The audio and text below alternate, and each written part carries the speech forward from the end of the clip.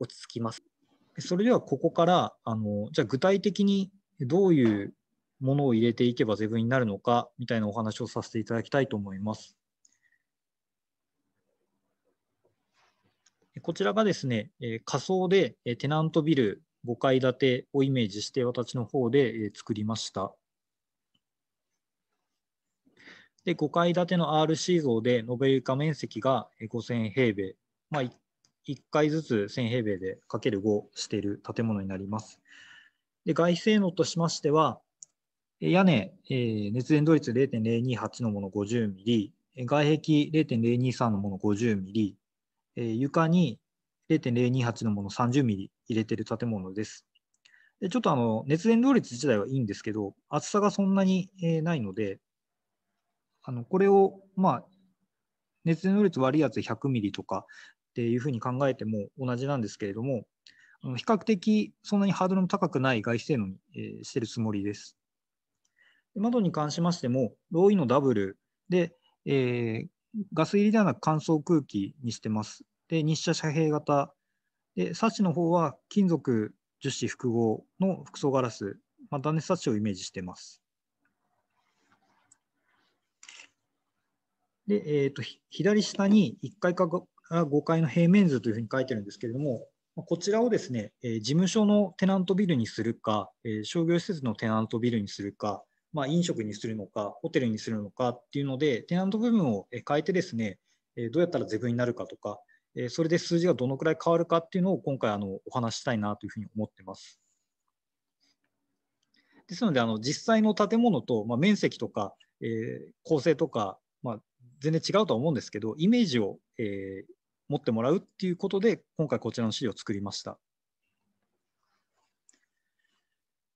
で、えーと、全部のあの、まあ、業種ですね、事務所からホテルまで、全部の業種で一番大事になるのが空調になるので、えー、そこの部分を、じゃあ、どういう熱源機だったり、空調機にしたら、数字どうなるかっていうのを、え今回計算してみました。熱源機群なんですけれども、セントラル方式の場合は、都市ガスの吸収式連温水発生器、えー、電気の場合は空冷のヒートポンプチラー。で、分散型の個別空調の場合は、え EHP のビル丸、で EHP の冷暖フリー、GHP のビル丸、GHP の発電機能付きのビル丸。でセントラルの場合なんですけれども、まあ、二次ポンプの方は複数ポンプ方式で、えー、変流量方式、インバーターで50%。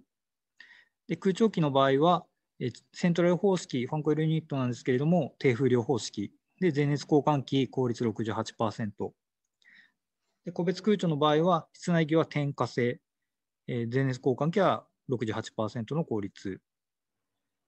で室内機、えー、天井隠蔽型の場合を検証しています。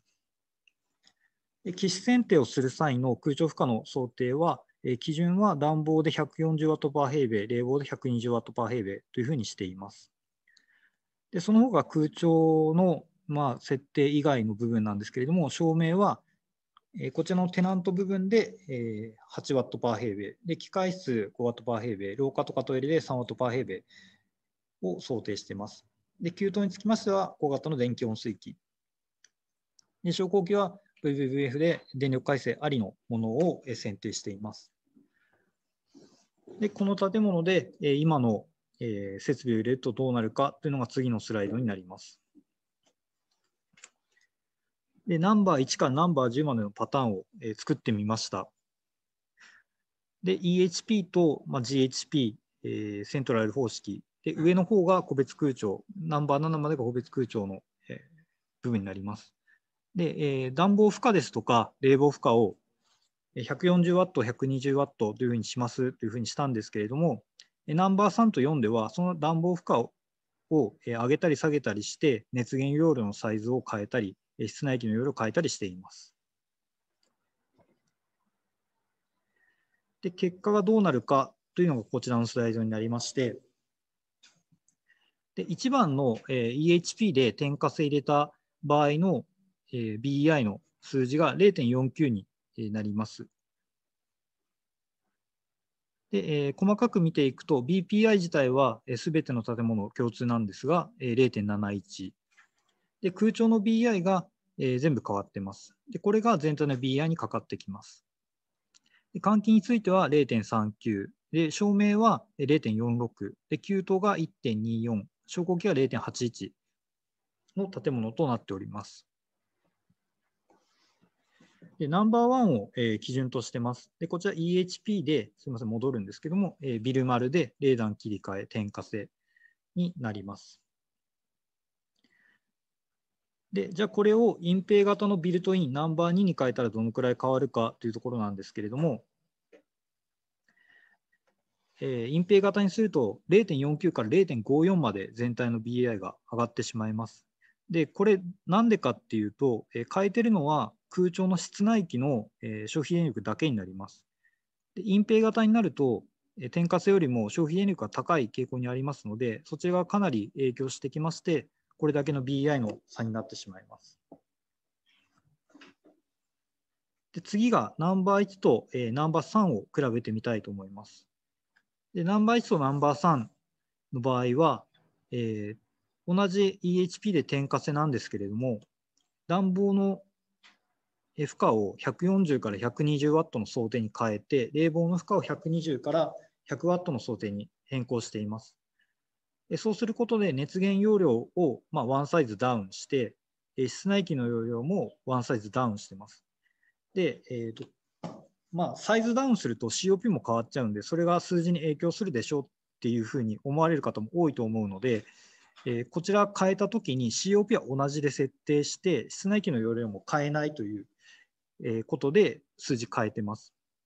COP も変わってなくて、室内機の容量も変わってないから、数字変わらないのかっていうとそうではなくて、BI は0.49から0.47に変わります。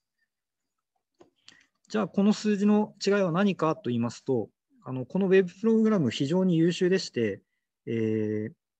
こういう個別空調だったり、セントラルもそうなんですけど、熱源機の部分負荷の運転の効率が悪化するですとか、そういった部分も考慮されますので、室内機だとか室外機が過剰容量になっていると、まあ、そこが適面で数字に反映してくるというところになっています。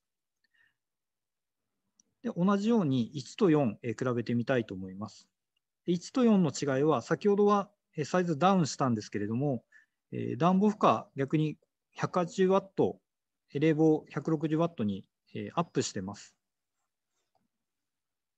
で大体、えー、私見る設計もあの基本設計とかで200ワットとか180ワットになっているのもかなり多くあるかと思いますので、えー、こういうふうにすると、まあ、じゃあ BEI どうなるかというのを見せたいと思います。でこうするとですね、0.49から全体の BA が0.54まで、悪化してしまいます。で空調単体で見ても0.49から0.57ということで、かなりアップしているのが分かると思います。で先ほどもあの容量ダウンの際にお話ししたんですけれども、あの部分負荷効率だったりとかが、え非常にシビアに反映されますので、え容量を多く設定すればするほど、まあ、BI っていうのは悪くなる傾向になります。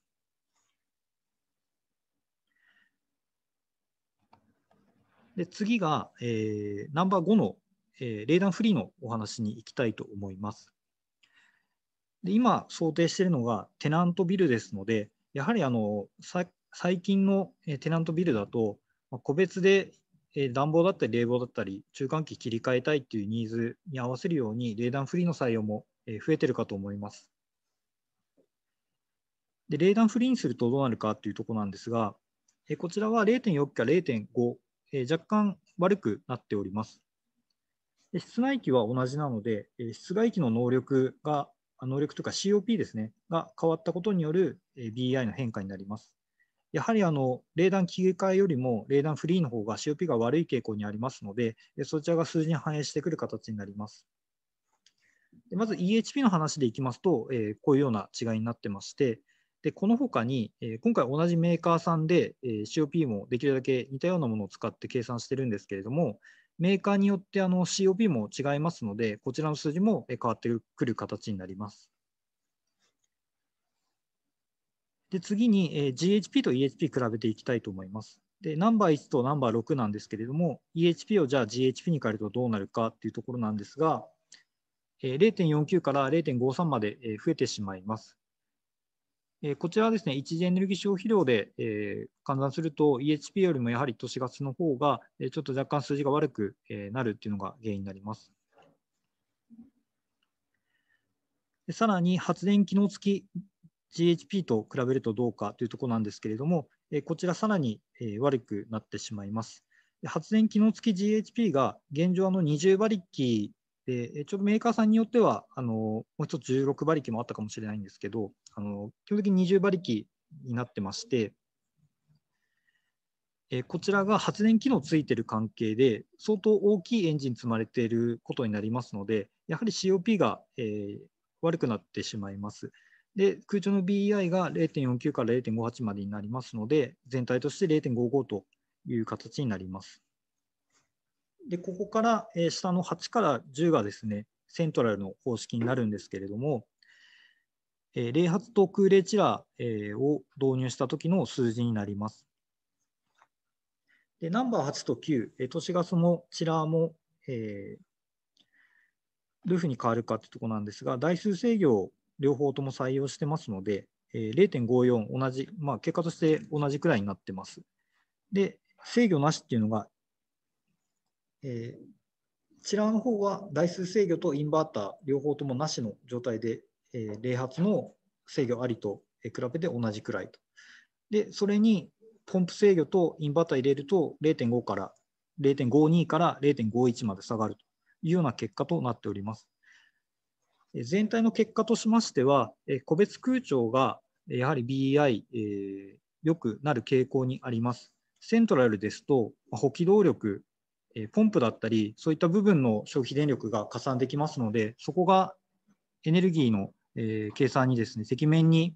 影響してきますので、悪い傾向になってしまうというのが今回の結果になります。また、あの一番大事なのがですね、え容量。あの過剰容量になってしまうと、あの数字悪くなってしまうので、えー、適切な熱化計算での選定というのが大事になってきます。でこれが結果のグラフになります。で見ていただくと分かると思うんですが、え、事務所の場合ですと、え、もう空調と照明がエネルギーの、え、ほとんどを占めております。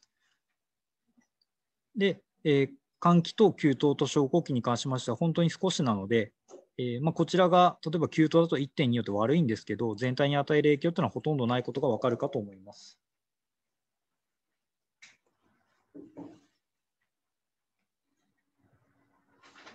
次に、えー、こちらがですね、あの今のお話のまとめになります。今回の結果としては、電気式ヒートポンプを利用した空調方式の方が BI は低くない傾向にありました。室内機熱源機が必要化に対して大きいとエネルギーが増加します。隠蔽型の室内機は消費電力が大きくエネルギーが増加します。冷暖フリーは冷暖機械よりもカタログ COP が下がりますので、エネルギーが増加します。今回の事務所ケースにおいては、空調と照明がエネルギーの大半を占めます。でセントラル方式につきましては、インバータや大制御などを省エネ技術を採用することで、BI が個別空調と同程度まで下がります。で今回の結果、あくまでも一事例でありますので、これから説明しますが、業種だとかによっても違いますし、え部屋割にもよっても違います。でもちろん規模によっても違いますので、結果異なるんですけれども、え全体として、まあ、傾向としてはおおむね合ってるのかなというところです。